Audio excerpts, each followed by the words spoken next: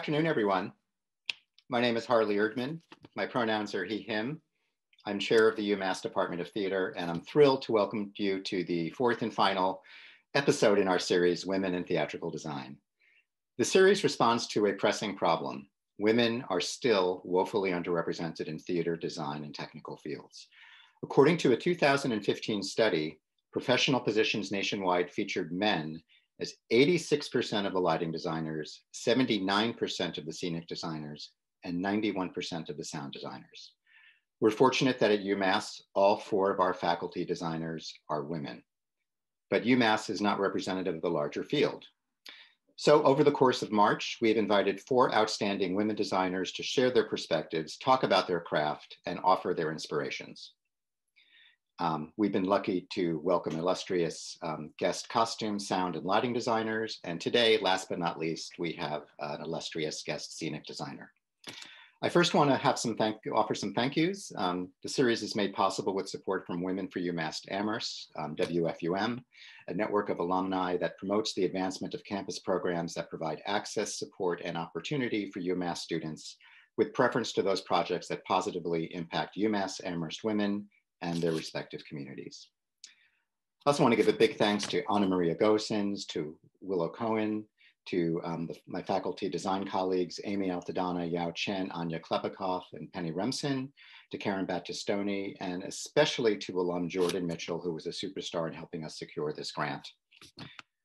I also want to acknowledge that we gather as the University of Massachusetts Amherst Department of Theater on the traditional land of the Nipmuc Wabanaki Confederacy and the Pocumtuck peoples, past and present, whose ancient relationships with the land continue to this day. We honor with gratitude the land itself and the people who have stewarded it throughout the generations. Please take a moment to celebrate the resilience and strength that all Indigenous people have shown worldwide. And for those of us joining from another location, you can check out the link in the chat to find out more about Indigenous communities where you live. So now I'm honored to welcome the host for today's conversation, um, UMass Professor of Scenic Design, Anya Klepikov. Anya is a prolific scenic and costume designer for theater, opera, and dance. Her long list of productions includes work at Miami City Ballet, Triad Stage, Weston Playhouse, Baryshnikov Art Center, Glimmerglass, Glimmerglass Opera, Syracuse Stage, and many other places. She's taught at Princeton, at Brown, Colgate, and Yale, uh, my favorite recent credits of Anna is that uh, recently, in the, basically the same year, she designed costumes for one production of Who's Afraid of Virginia Woolf in Vermont and scenery for an entirely different production of the same play in North Carolina. Uh, friends, um, here is Anya Klepikov, who is going to introduce today's guest. Thank you, Harley. Um, it is such a pleasure to introduce Mimi Lien to you all. Mimi's designs for theater, dance, and opera have been seen in the US uh, at Lincoln Center, the Signature Theater, Playwrights Horizons, the Public, Berkeley Rep, the Joyce, the Goodman, Soho Rep, the Wilma, Jacob's Pillow, as well as um, internationally in Russia, Taiwan, Germany, the Netherlands, among many others. Mimi's um, extraordinary work spans a wide spectrum from commercial theater, such as the Tony Award winning uh, Broadway, Tony Award winning um, Broadway hit Natasha Pierre and the Great Comet of 1812, as well as the non for profit and avant garde spaces. Mimi is a member of the acclaimed Pig Iron Theater Company in Philly.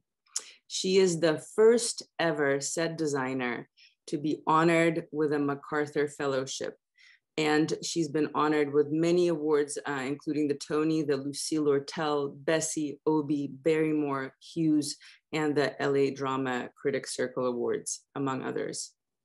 Um, and a few years ago here at UMass Amherst, we were so lucky to have Mimi design Kaleidoscope 2.0 Adventures in Pre and Post-Racial America, which was created by Talvin Wilks and Ping Chong and produced and dramaturged respectively by my colleagues Judy Al-Bilali and Priscilla Page.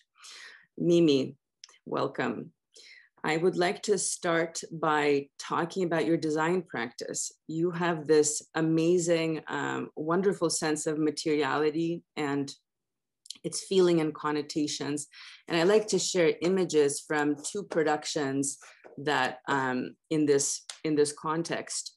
Uh, so first, an octoroon by Branden Jacobs-Jenkins, which started at Soho Rep and moved to the theater for a new audience. Um, you had cotton balls all over the floor and um, then the wall that fell on them. And uh, also the uh, other show I want to mention in this context is um,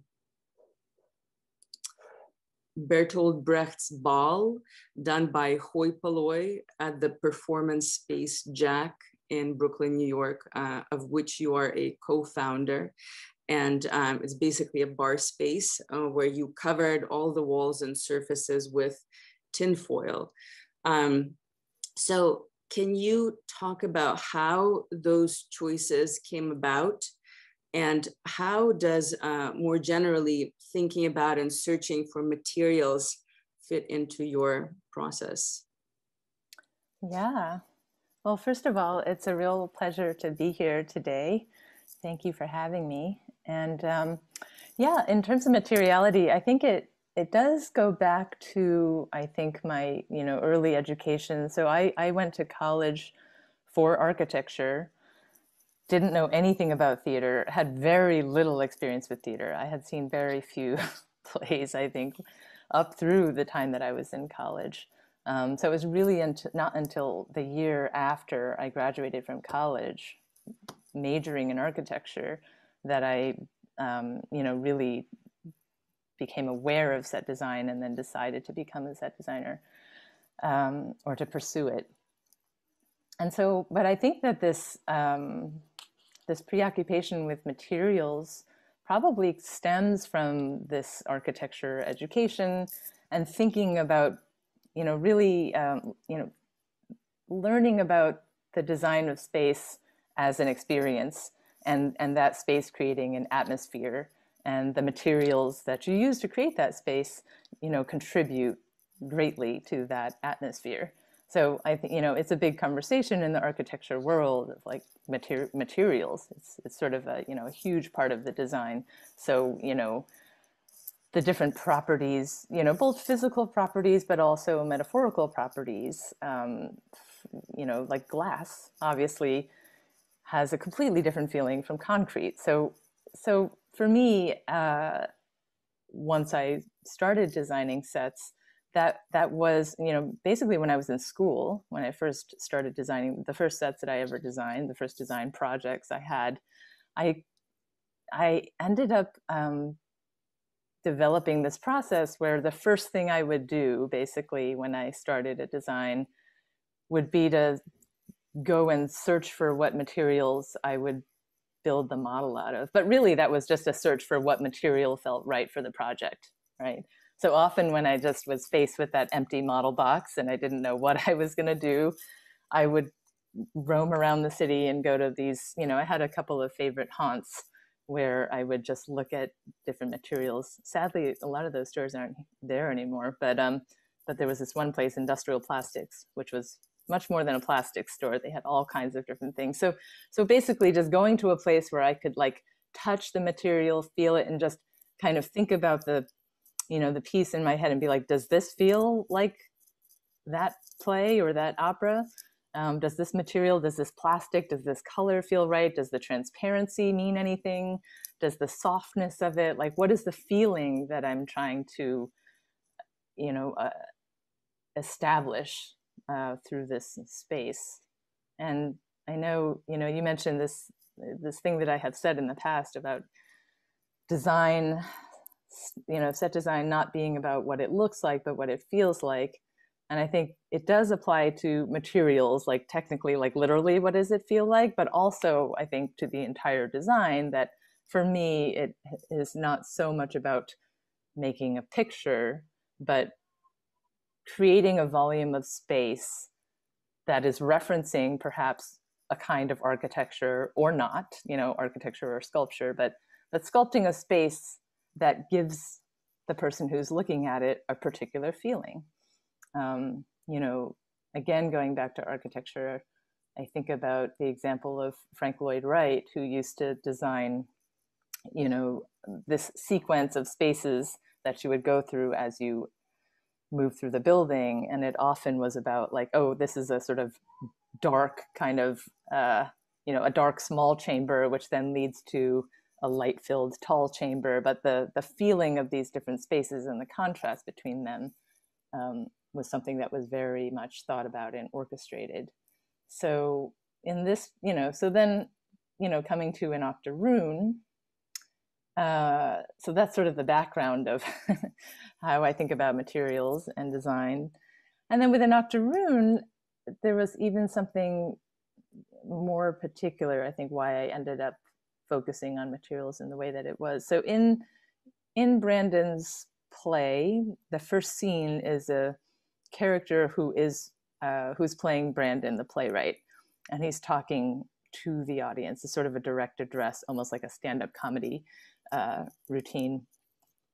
And and then there are some stage directions where he indicates that perhaps this character goes to a you know a kiddie pool that's filled with white paint and and starts smearing it on his face um, and it's pretty you know it's pretty confrontational the way that he he's addressing the audience and like literally putting white putting on white face in front of in front of you um, you know made me think about I guess per- performance art. I mean, this could be a whole other hour long conversation about the difference between performance art and theater, but um, you know, perhaps it made me think about artists like Marina Abramović, or you know, these artists where who perform in gallery spaces where you can walk around them, but there's a kind of confrontation and tactility um, and like making you feel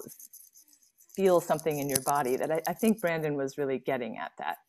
And of course, it is a play that it's his, his deconstruction of the play uh, The Octoroon, which was a 19th century play written by an Irishman about slavery. And here is Branden in the 2000s, black playwright, writing his version of it. So, you know, obviously the question of race is very pointed. So basically, I, I somehow decided at the beginning that I was going to make a list of materials I think because of this stage direction of him putting paint on his face or like a mud like um, substance, I decided I was going to make a list of materials, like black materials and white materials. so I like I made a list of like tar, molasses, coal, and then in the you know white materials, And it's like you know milk and cotton and sugar, and obviously you know all of these substances are very racially charged and historically, you know, have a lot of meaning and baggage. Um, so, but but through that list, I ended up thinking about, you know, the material of a cotton ball um, as being this object that we all, ha- you know, is is very contemporary and, and and seemingly pedestrian, but holds so much weight and history. And I knew that, you know, and the structure of the play was such that, you know, we go from this place to that place. It's, you know, it's a melodrama. The original play, The Octoroon, is a melodrama. So we go from the plantation to the, to the dock and to the, you know, the, all these um, different locations, which I, I knew that in the space of Soho Rep, which is like this tiny black box with no wings, we were not going to represent that literally. So so I started, you know, to formulate a little bit of an idea of how the spaces of the of the set would need to progress uh, with the play. And so I, I knew that I was going to represent the plantation somewhat in, in a non-naturalistic way. And then putting those two together, I thought maybe I'm just going to, maybe the plantation will just be people knee deep in cotton balls. And that's kind of how uh, we arrived at that material. And so this, you know, all of these first scenes of the play, this melodrama um, take place with people shuffling through these cotton balls. And then uh, what ends up happening, so we're not showing you the full sequence, but this picture, yeah, this picture is uh, one, my first research photo, which is um, Steve McQueen, the filmmaker, recreating a, um, a stunt that Buster Keaton did back in the day, which is he's standing there by himself, you know, and then this um, the this facade of a house falls, but there happens to be a hole cut right where he's standing, and so there's this terrifying moment where it looks like the wall is going to fall on him, but he stays in the same place and doesn't move and and is okay. And I basically decided to adopt that as a way that we move from scene to scene, because there is something about the, you know, the the you know the rhythm i guess that the piece wanted to move where we were sort of felt like we were peeling back the layers of an onion um, I know that we're we're still talking about materiality, but uh, but in terms of um, how the space moved, the, the wall would fall. First of all, we run a black box space, and then the first wall, and then that wall fell and revealed a white space with cotton balls, and then uh, and then the wall behind that also fell, and so what happened when that second wall fell on top of the cotton ball filled space was that the force of air caused by the falling wall propelled all of the cotton balls into the laps of the audience members, um, which conveniently enough, uh, in the play, there's this climax, right? The, the, the sensation scene is actually a trope of the melodrama, that there's a sensation scene where there's some crazy theatrical trick like an explosion. And so, literally, in the play, the steamboat that's filled with barrels of cotton uh, explodes. And so, that's what we did uh, for that for that moment. And I think the the thing that we didn't necessarily plan on, or was a happy accident, was was actually the the fact that the cotton you know, just literally like pelted all of the audience members in the face, and people would walk home with cotton balls in their pockets and um, it's really and, intense. You know, confront the the you know the legacy of slavery in their daily lives. That's incredible, and um, I. Uh, uh, I'm curious about the tinfoil on the how did how yeah. born?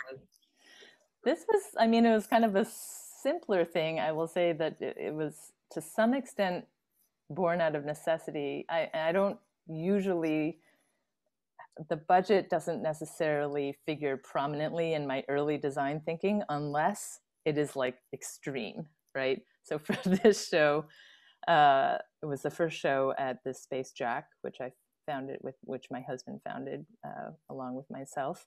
And we literally had a budget of $250, you know and it, as you said it was a bar and we knew that we wanted the audience to be not in seats and be able to roam around and the performance took place in all different corners of the room. So we knew we i knew i knew we didn't need like a lot of set you know but i wanted to create an environment. And the tone of the production the way that um, the the direction was going was that it was fairly punk rock and irreverent. And so I thought to myself, well, what's a material that, like we were, you know, listening to all this punk rock and loud music. I was like, what is a material that is like visually cacophonous, like visually loud is basically what I was looking for, and cheap. so, so I landed on the idea of tinfoil, which you know, which then I was like, okay, I'm going to go all out. I'm going to cover every surface. So we did all of the walls, and um, and then we had just this one element of a tree, which was also covered in tinfoil. But basically, it's it was it was me thinking about what's a material that's visually loud. Amazing. So, from material um, to uh, the experience of space, uh, your other great superpower, you're always designing the spatial experience for the audience, starting from when they first walk in, that pathway they take to their seats. You're thinking about that, not just what happens once they're sort of in their seats. So, this is. Um, uh, uh Natasha Pierre in the Great Comet of 1812. Um, this is the bunker tunnel that the audience moved through at the ART before arriving in a space uh, surrounded by red velvet and golden accents. This is um, when the production moved to Broadway. So um, I'm, I guess I'm curious on one hand about how, um, how you were thinking about this uh, entering um, through the bunker to get to the red velvet space. And um, also just to say this production moved, um, it actually started um, at Ars Nova, uh, which was um, more modest space than Broadway, um, where this is sort of the Broadway ground plan. And mm-hmm. Um, I'm curious about the development of uh, the ground plan, which kind of ushers people um, in this experience, how it went from this to uh, to something that looked like this. Mm-hmm. And uh, how did you come up with these curlicues? So that's kind of a bunch of questions in one. Feel free to talk at large. Yeah, sure. Well, in terms of the approach, I mean, I started talking about it a little bit earlier about the Frank Lloyd Wright kind of designing the sequence of spaces. And so that for me is very much what the bunker uh, is rooted from in terms of composition. In terms of why, though, um, it really comes from, you know, at the first design meeting that I had with Dave Malloy and Rachel Chavkin, Dave was describing when he was on his research trip to Russia while he was writing the piece. Um, he had what there was one night in Moscow where he was taken by a friend one night to a bar it's one of those nights when you're in a foreign country, you don't know the city, you're being led down these dark alleys, and then suddenly there was this like amazing bar. You know, you open it and it just fills you with warmth. And he went in and you know sat down, and there was music playing, and sat down at a table with strangers and just started drinking and eating pierogies and and that basically was the seed of the you know the event of this show, what that wanted to feel like. So Dave basically described his kind of wandering, lost approach, and then and then being inside and being enveloped in this warmth. He basically we had some version of that in every iteration of the show. So even at Ars Nova, where you know it's a tiny cabaret space, and we had 87 seats ultimately Normally, you enter the space in the door that's on the left side of this ground plan. At ground street level, you go through a lobby and then you go straight into the space. We ended up having people go in through this other door that was a couple doors down, which then led down a flight of stairs through the dressing rooms and back up the back set of stairs, which typically only the actors would use. And so basically, it served to disorient the audience and so they didn't know where they were going. And then when they finally entered the space, it was not like the space that they had been, if they have been to that theater before, they just were like, I didn't even know where I was. So it was a little bit about like disorienting them. And I think when you're disoriented, your senses kind of perk up, right? When you're like, I don't know where I am, I don't know what this is. Your senses perk up, perk up, and you start taking note of things around you and your environment a little bit more. And that was kind of my intention of like, you know, kind of making making things a little bit unfamiliar. Um, and then you then you really become more aware of your body and the and the space that it's in. And so there was that, and and wanting to to really create um, a a big contrast between that journey space and the arrival space. I mean, also dramaturgically, one of the first lines in the musical is there's a war going on out there and you know and then we're all inside here um, reminds me of that movie underground right where everybody's in this bunker together and there's something going on outside so there's a real sense of outside and inside um, you know in terms of aesthetics i think you know we were never trying to represent russia again in any sort of naturalistic or um, historical way. It's all kind of anachronistic, and you know, so I think there is some association of Cold War bunker from the 80s, and then there's this kind of aristocratic, lush version of Russia that is this red and gold interior.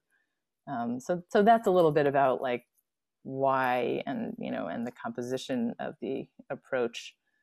In terms of the ground plan, yeah, that was an early early sketch for the Broadway version. I mean, I guess in terms of ground plan, I you know curves are, curves were not really a thing that I I wouldn't say that I really have any signature style, but like I, I I wouldn't say that there are a lot of sets uh, designs that I that I've created that have a ton of curves. But this one felt like basically I was at an early workshop, and there was one song that Natasha sings, and I was like, oh, it feels like she should be like on a path and like weaving her way around it. Just the music felt like it was leading Natasha on a curving path that was basically the genesis of the Ars Nova design, which then led to a bunch of staging. Yeah, so this, so the this kind of curving bar shape, the S shape at the bottom was like I literally was sitting in that Ars Nova space at a workshop thinking, listening to that song and thinking she should be walking on a curving path. And so um, that you know was present in every iteration love that. Thank you. So um, kind of related to uh, creating pathways for people to to move through i, I wanted to ask you about um, uh, i i see you as um, taking and making room for agency across disciplinary boundaries in your um, work on installation projects. Uh, usually set designers are responding to a script, a directorial vision, and um, within the envelope of a bigger producerial vision. Um, but I, I, see you finding opportunities to be like a leading creative voice in your installation projects. So for example, Model Home uh, commissioned by um, the La Jolla Playhouse. Um, installations are a genre where a designer can also be like a director and a playwright. Um, and we think of installations as a genre that lives more on the territory of the fine arts uh, or um, public art. So you entering this sphere as a scenic designer is already interesting. How did this um, commission uh, come about? Um, it sounds so kind of unusual for a set designer to be invited. Had you done many other installations before? Um, and I'm just curious in, in, in this new role for a set designer or this unusual role to be to guide narrative. And for me it also relates to your architectural background because of course architects are the playwrights potentially in collaboration with clients. Um, and uh, and also i'm just going to share a few of these um, photos of model home Yeah, I can talk a little bit about these as you're showing them. Maybe, uh, yeah, I mean, I think very much, I think, uh, again, because of my architecture background, I've always had a big interest in public space.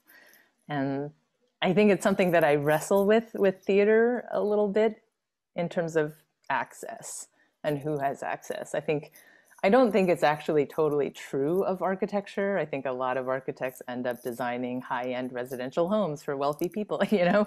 But I think for me, there was always this sort of utopian goal of, you know, designing a space that for the betterment of, you know, humanity at large, and that people wouldn't have to buy a ticket to experience it. That if you're building something in public space, just walking through it, you know, a well-designed space would would have a positive impact on on anyone who happens to be walking through there. So I've always had a desire to work outside of the theater for that reason, for a kind of accessibility um, that you don't have to. It's not for a particular population who buys a ticket to go, you know, and, and maybe an expensive ticket, and so not everybody can afford it. So, so there's always been that desire. And uh, prior to this, I had had really only a couple of opportunities to create installations, and they were in the context of a performance festival um, in Philadelphia. There was a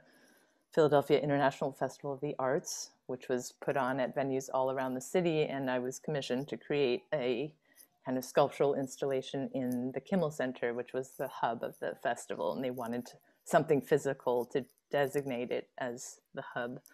So that was great. I mean, it was a great opportunity. And it's sort of because I got to know some people as, you know, through designing sets in Philadelphia had met someone and you know and and I think they knew about my interest in public space and and therefore invited me to do that. So I had a couple of opportunities here. Um, the without so this is this was produced by the La Jolla Playhouse, but they have a festival called Without Walls, which is um, a festival of site-specific work or work in non-traditional spaces, mostly outdoors.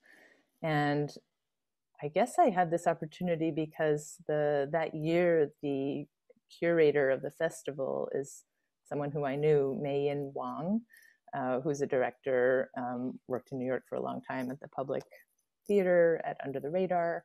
So she again is someone within the theater community who was familiar with my work and my inclinations towards working in public space and and so that particular year, they were actually expanding from the La Jolla campus, which is up outside of the city of San Diego. They were actually going to do the festival in downtown San Diego that year. And so I basically was asked to, you know, create a site specific uh, installation which always which also had a performance element to it and so what I ended up doing was I went there for an extended weekend, walked around the city nonstop for four days to find a site that would like inspire, you know, uh, an install a physical installation and also a performance. And I honestly didn't I didn't feel like I found I found the the site immediately um, what, during those four days. It's like it's you know San Diego is like a very beautiful and kind of quiet city. Um, it's not uh, there's not a lot of edges. There's not a lot of like grit and things that I tend to be attracted to. so, um, but then I, I after I left that weekend, I found myself really unable to stop thinking about these kind of mental pictures of the, the homeless population in San Diego. And I knew from talking to people there that everyone was like, oh, San Diego, the housing, the housing crisis, the housing crisis it seemed to be a big topic of conversation there. And in fact, I noticed that in the downtown area, there was a big revitalization effort there were tons of construction cranes that were building like high rise luxury condos. Meanwhile, um, there were these enormous tent cities of homeless folks. And visually, that looked very different to me than the homeless population in New York City, where they're more dispersed and like in subways and you know on street corners, but they're not so much like encampments and it was a little jar like it was kind of unforgettable. I couldn't really um, get it out of my head and very much also in juxtaposition with the cranes that were building the high-rise um, luxury condos.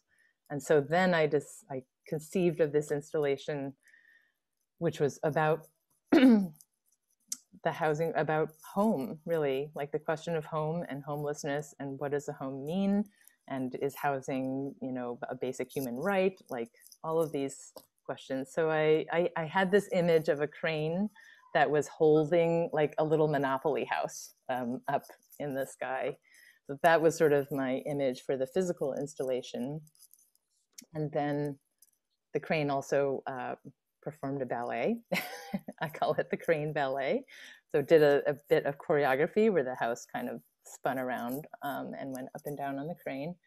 But I also felt like I, as someone who doesn't live in San Diego, I really felt like I needed to engage with the population. So then the other portion of the piece came from me interviewing lots of San Diego residents, um, homeless people, people with homes, people who've lived there for a long time, not for a long time, about these ideas of home. And then within each of those five houses that are on the ground, there was um, an installation inside each of the houses that was inspired by these interviews that I had.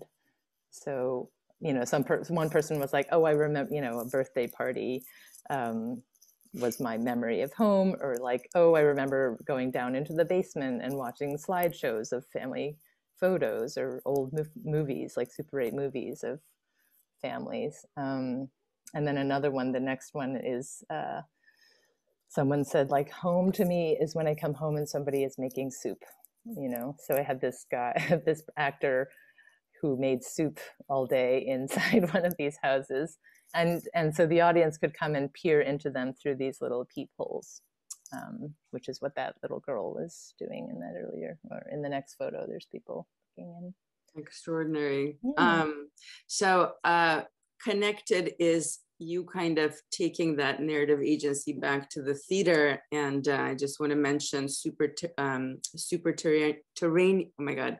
Super yeah. Terranean with uh, Pig Iron Company in 2019, where um, uh, I'm gonna flip through these amazing images while I say that um, there are these unusual credits of concept, scenario, and set design by Mimi Lien and scenario and direction by Dan Rothenberg. And in the video, he speaks about wanting to like hook up um, uh, a, a sense, sensing device to your brain and like get the whole uh, rehearsal room running from from your engine. So how how was that? This was characterized as a piece of visual visual theater, and um, I've never heard that term before, but I like it. yeah, yeah, I think this came about, I guess Dan would call it designer as author. So basically, back in 2006 was the first time I worked with Pig Iron. And, you know, Pig Iron is a company of physical theater performers who devise ensemble work, original work. So it's always, there's no script, right? It's a bunch of actors, uh, the whole team, including designers, coming together around an idea and then improvising and then the material comes out of improvisation so already there as a designer um, working in that mode one has more input into you know you throw something in in rehearsal for an improvisation you you know and then the performers respond to it and create something out of that. So there's a lot more direct um, input into the content from designers.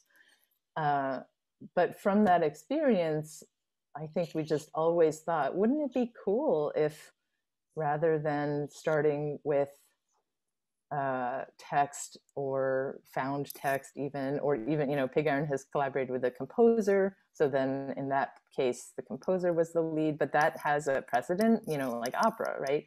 But so rarely is a piece created that springs from the, the set design. And so that's what we set out to do. And the reason why it's a work of visual theater is because it it ended up having no words, um, and that wasn't premeditated. It, I didn't necessarily think imagine that that's what the piece was like would be like. I I imagined that I was going to design a set, and I think you know, as designers, I'm sure all of us, right, as you're doing research for another piece you come across an arresting image and you're like, oh, that would be an amazing set. I don't know what it would be a set for, but it would be an amazing set. Like there's something evocative about the image, something off, something strange. Um, so it kind of came from that of like 15 years of me collecting those images of like, this would be an amazing set. I don't know what for, but something. And so then it's like, okay, I'm going to now make a set and then th- let the actors loose on it and see what they make. Um, but then when we started making things, for some reason, like whenever, like talking didn't quite feel right. Um, and I will say that, you know, conceptually, one day Dan just asked me what my obsessions were uh, in terms of like, you know, what what's the core of this piece? What is that going to be? And I ended up telling him this story about how when I am driving by. There's this huge refinery um, in New Jersey. When you drive outside of New York, from New York to Philly, there's this giant refinery, and it's like this factory belching smoke and spitting flames out of the smokestacks, and it, it is endless. It seems vast and huge, and there's no people. It feels sort of like a post-human landscape to me. And I just was like, I've been driving by that place ever since I was a kid, and I always just felt really emotional whenever I would look at it, but I never really tried to parse like why why that was. And so I ended up telling him this story and then we talked about it and I was like, I think there's it's something about like the fact that humans obviously built this, right? Like we built it, we conceived of it, we invented all of the technology, and yet it's also, you know, going to bring about our demise or like, you know, because visual it looks like a post-human landscape and pollution and all of that, you know. But there's something about the tension between this like kind of pride, like, and then it extended into like infrastructure in general, like huge infrastructure, like dams, you know, things that, you know, purport to control natural forces, like divert rivers, right? Like there's a certain amount of hubris in that, but also it's kind of amazing that humans did that. Like these soft, fleshy, six foot high bodies um, you know, built that. So there's this tension between this pride and awe, and then also like a despair, I think, at the potential for these creations to outlast us or perhaps lead to our demise. And so, and something about like physically these hard, unforgiving, concrete structures and our like soft, squishy human bodies. So, so physically, it became about that collision. Um, and so that that's what this piece ended up kind Amazing. of being about. Thank you. Thank you for sharing. Um, I'm going to open it up uh, shortly to the audience, but I just want to uh, finish with a question about women in design. Um, you've modeled so much, and also you're kind of in the minority. Um, Porsche McGovern survey uh, uh, discovered that 28.8% um, are women um, doing designing uh, scenery in LORT theaters. And uh, when you go up to the um, theaters that pay the most, uh, the number goes down to 13.6%. So as a minority, I'm curious what challenges you have encountered in a male dominated space.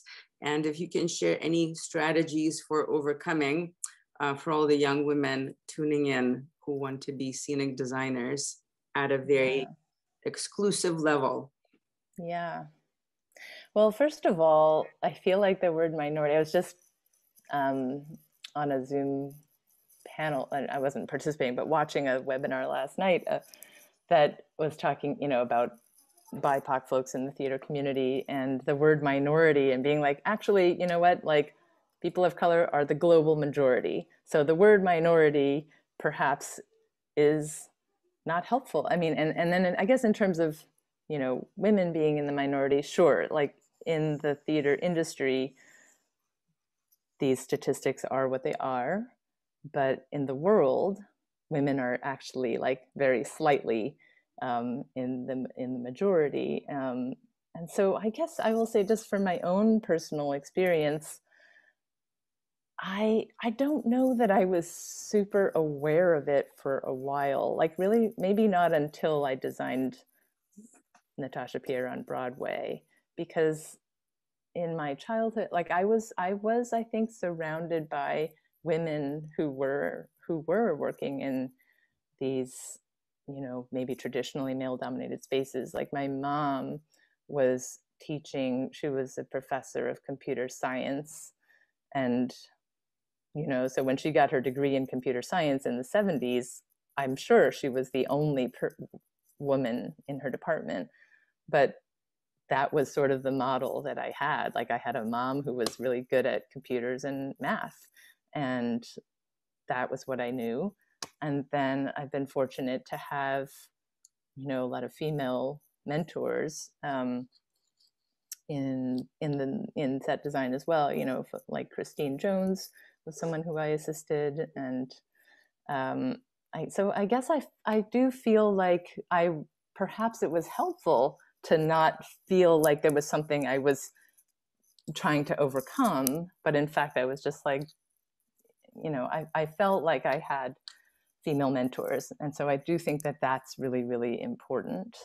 Um, uh, but then yes i think once you get to a sphere like broadway it it became a little bit more evident uh, you know that i was that i was in fact more and more surrounded by men. And i think what did i do to compensate? I guess i guess i just did everything i could to be to do my job well you know to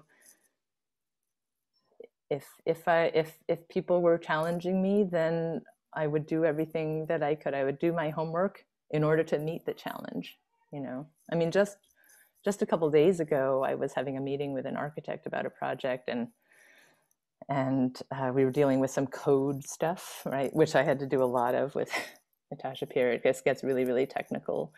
And you know because i have done a lot of work with code i i, I addressed it in my design and in my drawings and the architect was kind of like oh i was actually kind of impressed that you you know you seem to know all this code. So i guess it's it's about doing your you know i did try to always be prepared and have you know be able to back up everything that i was presenting amazing thank you um, there's a question from the audience. And uh, did you study visit Wright's Dallas Theater Center with all its curving spaces? I'm assuming this is in the context. Did I study Dallas Theater Center? No. I don't know. I guess that's a simple answer. Something no. to, to check out. I yeah. Guess.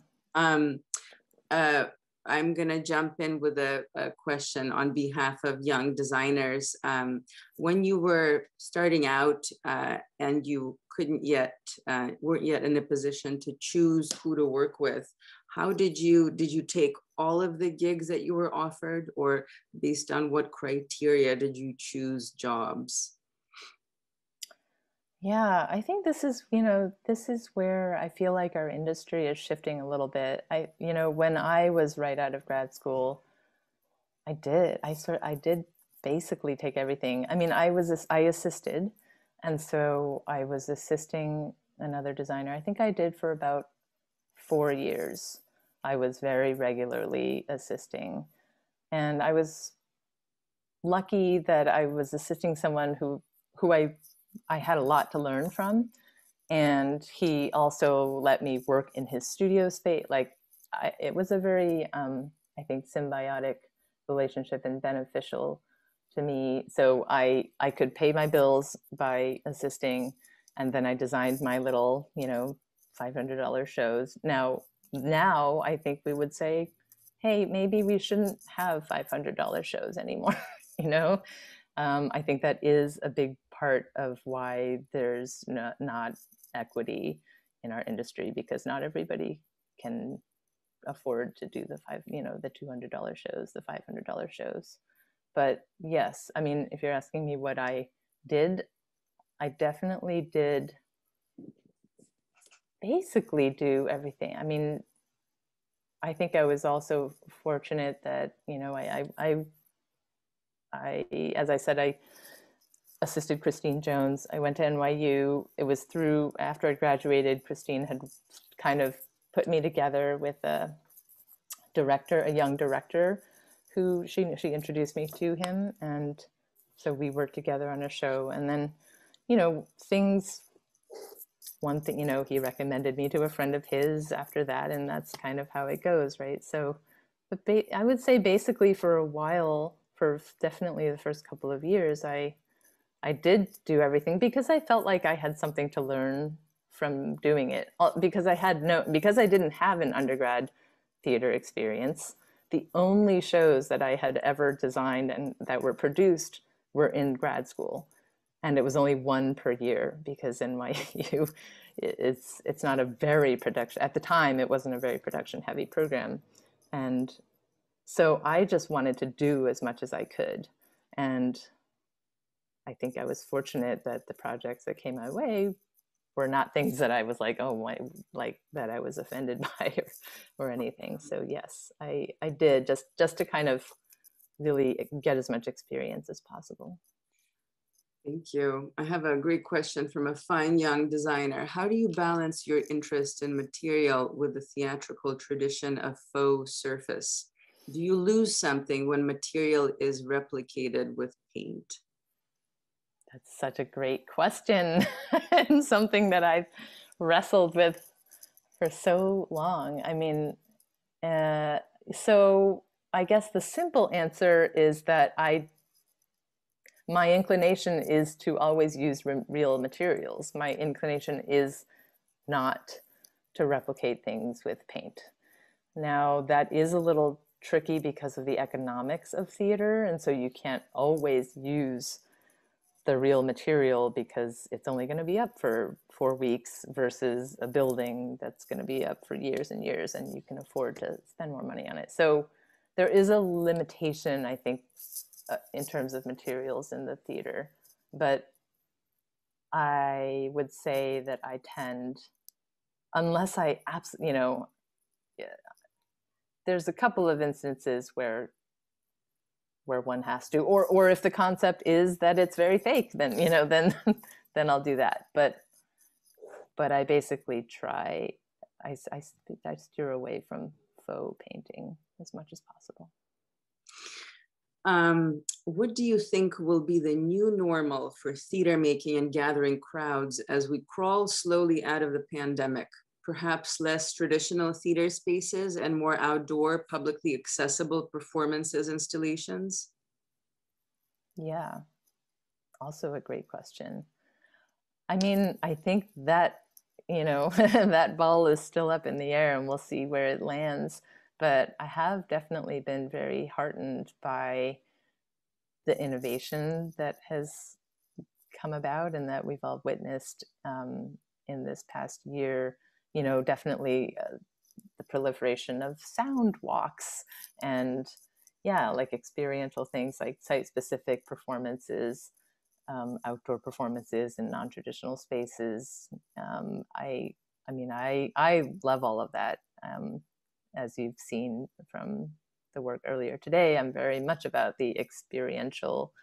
Uh, so I I do you know, but but then again, people there's nothing that will replace sitting in a room with a lot of other people and experiencing the same thing. So I guess I think that we will go back you know go back to that to some extent but i i do think you know just like i don't think zoom is really ever going to go away now at this point like there will be some vestiges and some of them are great like i think again about accessibility what one silver lining has been that i think that new audiences have been garnered for for theater like people are able to people who per, perhaps you know wouldn't have bought a ticket to go to the theater before, maybe family and friends of, of performers or people who are working in the theater now are able to experience the work, which I think is a silver lining. So I guess I think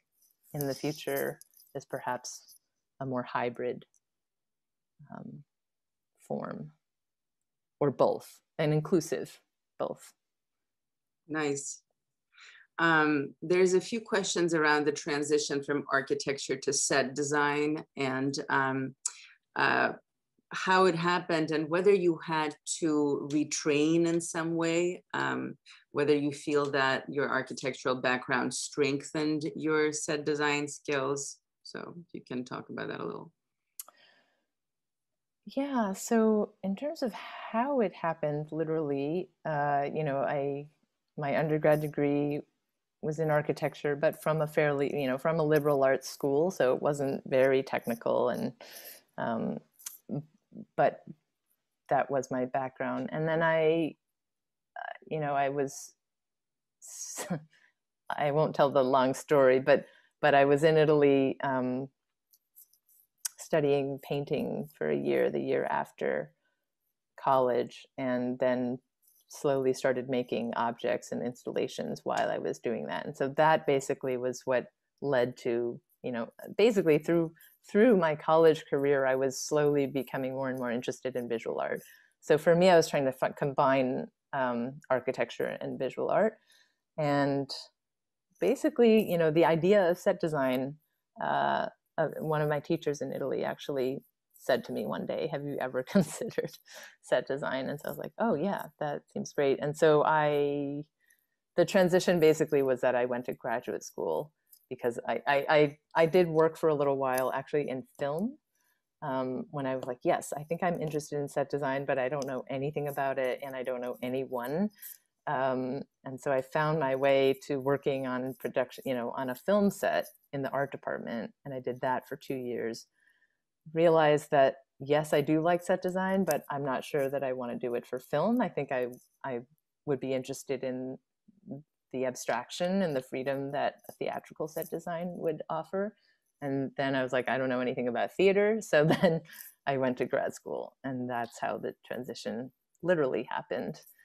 Um, I will say that I, I personally do think that an architecture background has been very helpful to me because I think everything that we build, it, you know, is is somehow rooted in just this idea of building and aesthetics and and what uh, what all the connotations of the different ornament um, and details are. So, so yes, I feel like I use my architecture education all the time. I don't really feel like I had to retrain. It's not like there's anything that uh, is that I had to unlearn about architecture. I think there were just things that I had to add on in terms of the context of designing for theater. Um, I also don't think that it's a different process or that suddenly um, when I'm designing a set, that's different from designing a, a, house or another kind of space. I actually think that it's all about how do I design and orchestrate this particular feeling that I want to create. But with the theater, how it's going to be viewed impacts, eh, you know, that design. So sight lines are definitely a thing. Um, that doesn't necessarily mean that you have to angle the walls and make everything visible to everyone. You can decide that some things are not going to be seen or that everybody's going to have a different perspective, but you just have to keep that in mind. Um, so, so I would say it's just basically learning, uh, you know, on top of learning a theatrical context on top of the architecture foundation. Mimi, we're at the end of our time together. Thank you so much for your inspiration and your your leadership as an as an artist and a thinker. So great to, to have you with us today. Thank you so and much. Thank you everybody for joining us. I hope you have a beautiful rest of the day. Thank you. Thanks everyone.